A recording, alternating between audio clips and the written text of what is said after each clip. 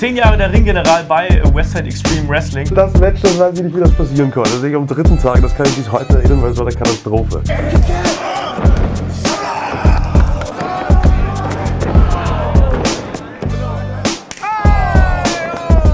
Also Wrestling ist ein Teil des Lebens, aber nicht das ganze Leben.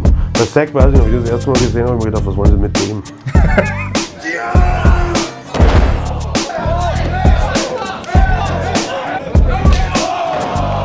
Bedeutung hat für, bis heute für dich das Karat?